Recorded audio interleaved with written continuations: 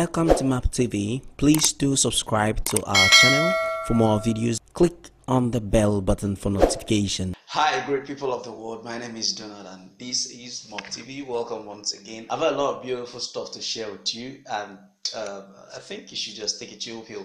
And first on the list is about the Anaferi um, Afeni Ferre.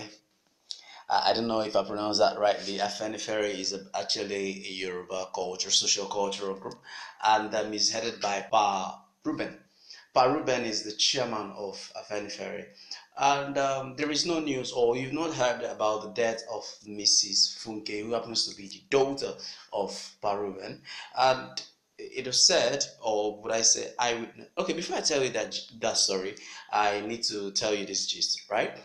Last two weeks my friend was actually my personal friend he stays in lagos was actually traveling from the east to lagos from onitsha anambra state precisely. And when he got to Bini bypass he was he was coming with um amada nissan right? So when he got to Bini bypass there was he now saw that somebody stepped out from the bush and started shooting at him. Not just one person like two or three guys. They opened fire on him they not that they actually wanted to take the car from him, but they were shooting on the car like they were aiming to kill him. So when he saw them, he decided to die while driving in, rather than stop and die. So he fired, he kept firing, and they kept shooting at him.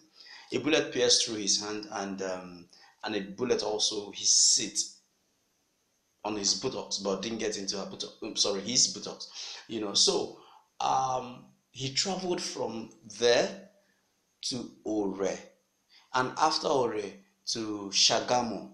He now found out that both the compressor, that, that sorry, both the radiator, the engine, his oil is finished. He had to tow the car from Shagamu to Lagos. He got home around 1 a.m. And these people are also the set of people or the kind of people that actually killed Funke. Yeah. It has also happened to me. Oh, if they tell me for dream, I not go believe. See tire vehicle, see bullet. Uh, immediately after the bridge, it was this car that was behind us. So, oh. see what happened. If the mopo man in the car did not fire, not only God know waiting for the happen now. We don't with the hear with the hear we not the believe eh. Nigeria is on fire. Oh. Nigeria is on fire. Can you imagine? As we just they come, the guy just step out. He just stay for middle of the road. Then he started firing. He started firing. Eh? Okay. How did how did did he shoot from inside? Yes. Look at now. See. See, yeah? see bullets. See bullets. See bullets. See. See. See bullets. My God. Eh? As this jeep, as as this Oga jeep pass, the guy just stepped out in the middle of the road and started firing. We were the very next one. No, let God now know now whether I know affect anything for the engine. Let me just. Eh? That we were able to move out of there. Eh. Was a good because he, he just pressed me once. If we had stopped, He wanted to trap me down. if we had stopped, I, I face to face now. I said the guy, the guy tied face, stand for road, just in the middle of the road like this, started firing. Middle of the road we dey front now. Hey now. Na. As this jeep pass, as this oga pass, as he passed immediately, they came out. Eh? When I go with this pass, I hear people are saying I can I said, don't talk my rifle. So thank God, as soon as they go for it, the guys just come out. Now fire. Target them. Go back. You don't go back. When I release, back, back, back, back. I see that. I see that. So he move. And the story is everywhere, and people are now um, saying, "Oh, rest in peace, Funke," and all that. The the president has called Pa Reuben in order to commiserate with him, and this guy, um, vice president, had gone live one on one to give his condolence. Um, had gone to Pa Reuben, and all these dignitaries and leaders and politicians they are flooding the house of this man in order to bear um, with him. Beautiful, fantastic idea, but I have an issue with that.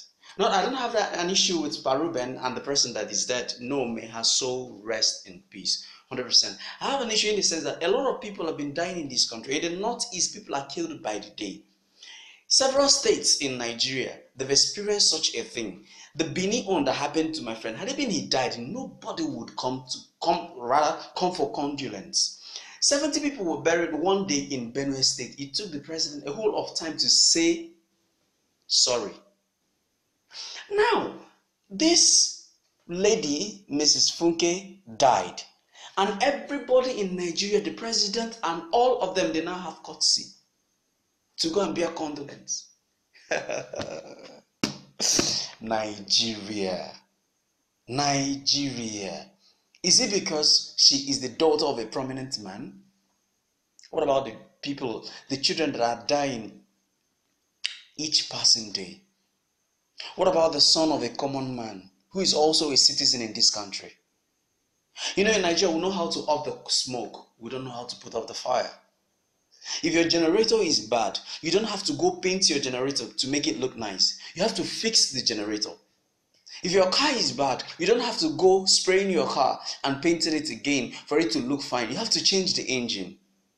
We keep pursuing smoke. That's not even the gist. The main gist is that Miyetti Allah, they've denied that. Okay, eyewitness, according to Prime Times, eyewitness said, or Premium Times said that um, Premium Times said that eyewitness said that these people are headsmen. That is a false report that we got. That these people that killed this lady happens to be headsmen. And um, the police officer Joseph, who is in charge of the case, the, he now said he gave his report saying that they were able to rescue seven people.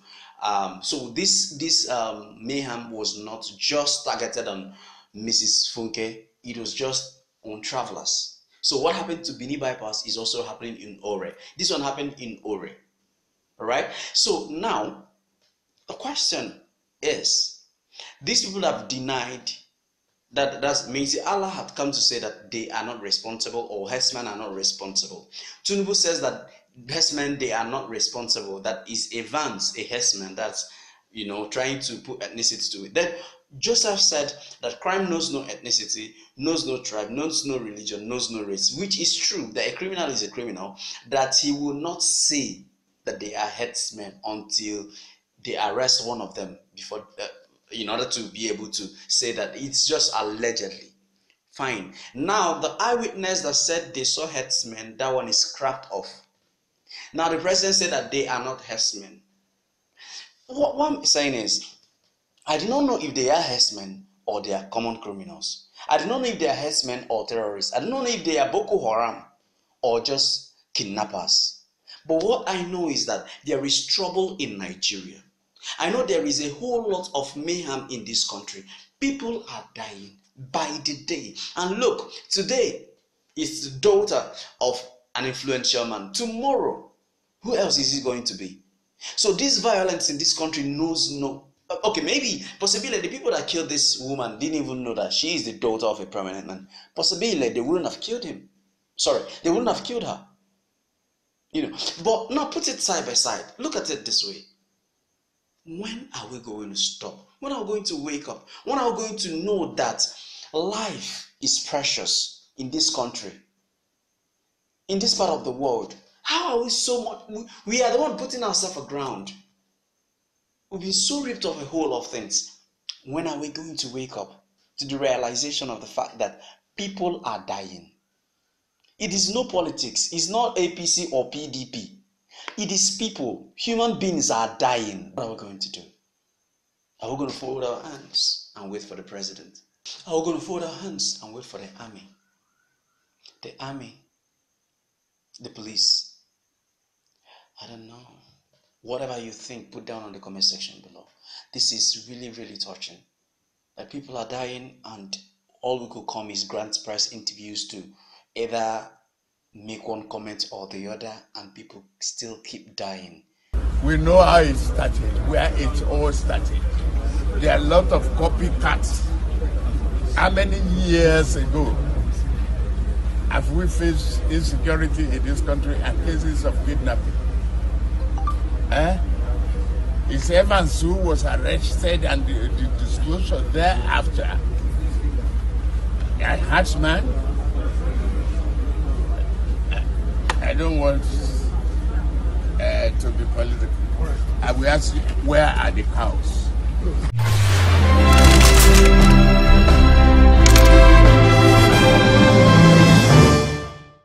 we want to we want to remove or be able to protect some set of people. We attribute everything to ethnicity. It's not about ethnicity. It's about human beings. People are dying. We can actually stop this. The government has every power to stop these minutes be it herdsmen be it criminal be it kidnappers whatever it is we are able it's just for us to accept the fact that we are able to stop keeping people aground and Nigeria will transform. That's just simple truth.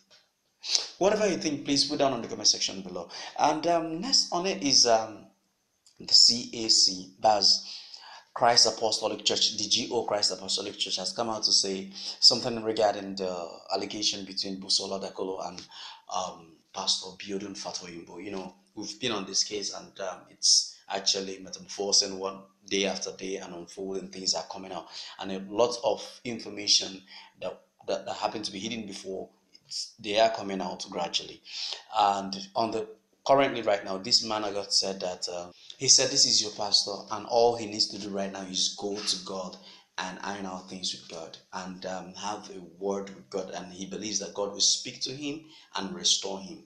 And his ministry will continue from there and things will get better. And um, as regarding, he, he, didn't, he didn't go to Busola. He now said that this is a fight against the church.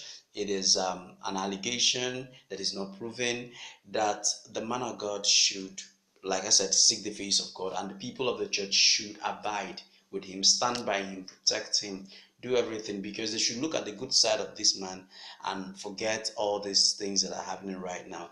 The people he has transformed, the joy he has brought to homes, and all that they should focus on the positive in paraphrase than to put him um, and nobody sh- that nobody should judge that you know that judgment is for god vengeance is for god we should leave it for god to intervene and we should not judge and um, we should just leave it like that.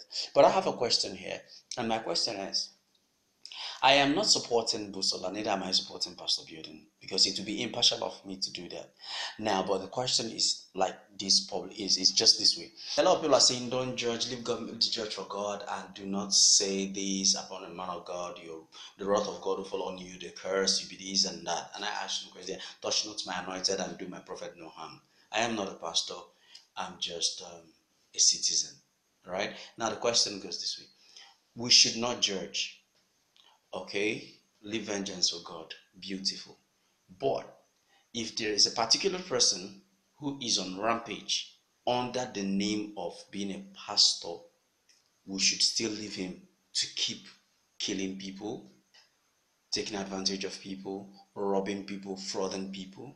We should keep quiet because he's now said, which means all the criminals will turn to pastors because it's a safe ground for them we should not judge. Fine and good. What about pointing out error? What about pointing out when when when a pastor does something wrong? If you point it out, is that bad too? I'm not talking about judging. I'm talking about pointing out. So when we use this word "don't judge," it's it's a way to actually put some people in the in the cubicle of guilt when something wrong happens. By so doing, we should even our father when our father does something wrong, we shouldn't first we shouldn't even talk about it because it's our father and we shouldn't judge him. Yes, we should leave him like that. If our elder does something wrong, we shouldn't even tell that person because he's falls on the same category. These are leaders, leaders in the body of Christ. They are accountable to to us that they are leading. When my father does something wrong, I'll be like that. I don't like this thing you did. Uh, you didn't do it rightly. Okay, so eh, I'm sorry. But if his ego doesn't let him to say sorry, fine and good then a pastor, I am part of the body of Christ. This is what I think. If I'm wrong, please correct me on the comment section below. I'm not again, I'm not saying we should protest, kill the man of God. No. We're not judging him to put him in prison. No. But what I'm saying, if something is wrong, we should point it out. I don't know about Pastor Biodun. I don't know. It's just allegedly. But I'm saying in a holistic view, don't judge, touch not my anointed. I think people can actually take advantage of that word and penetrate and perpetuate evil and still go free under the umbrella of touch not my anointed. That is my point. If you have a contrary view please put down on the comment section below. And um, if not subscribed to this channel please hit the subscribe button and the notification bell so that once we post videos you be forced to get notification. Thank you so much if you subscribe i really and we really do love you. Thank you. And this is about pfn that's um, pentecostal fellowship of nigeria uh, it's a body like CAN, that's CAN, Christian Association of Nigeria. These are bodies that oversee and see things that actually happen. And the PFN, you know, they've been on low for a long time. They've not really said anything in the public. It's been CAN has been speaking, but thank God PFN is speaking. PFN is speaking right now, and um, I, I can tell you, let you know that um, Pastor uh, Adeboye, who actually commented last week, happens to be the former president of PFN. And this is what PFN is saying right now. This is their state. PFN said that they are on the investigation already. They've set up a committee, three man committee, who are going to look into this matter critically. And not in my church um, um, campaign organization it is it is an advocate organization rather to say. They have said if you've been they are now appealing to the general public telling everybody if you've been molested if you've been abused by pastor Biodun Fatoyimbo that they should come forth and speak. They are going to they promise to give them a professional counseling. All right so this is the gain of those that have been abused by the said man of god. They should come forward. They will get professional counseling and um, they should speak up that it will help them in their healing process. And this um, this organization has been able to stipulate all the things they actually need um, PFN to do if any pastor, any said pastor is found guilty. Step down for six months to five years.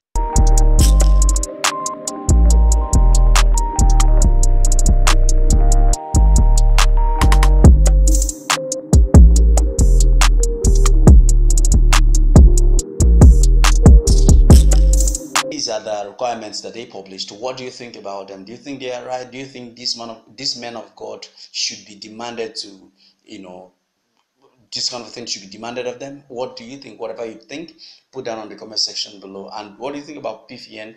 Um, we're going to hope on them to bring out the truth as soon as possible, as beautiful as it is. And do not forget that my name is Donald and this is Mob TV. Hit the subscribe button and the notification bell so whenever we post a video, you'll be the first to get the video. And do not. I have 100 coins. Yeah, people people is playing game here whether I like it or not. I mean I'm being I'm being sincere. I say it's 190. They say you people take 90 or you people take